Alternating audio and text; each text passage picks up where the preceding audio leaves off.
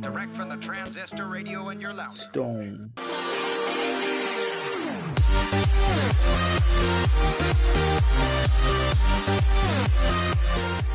Hey guys, welcome back, and today I'm just going to show you quickly how to save a um, an image on Google or on any other website as.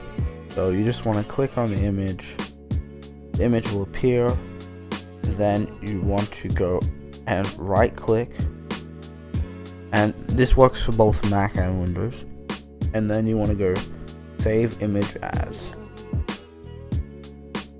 Now, it may give you a location, you can just set it to your desktop, and you save it.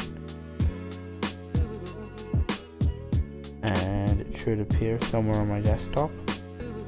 Oh, up there.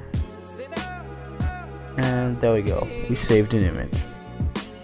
So thanks for watching, and I will see you in another one. Bye. Direct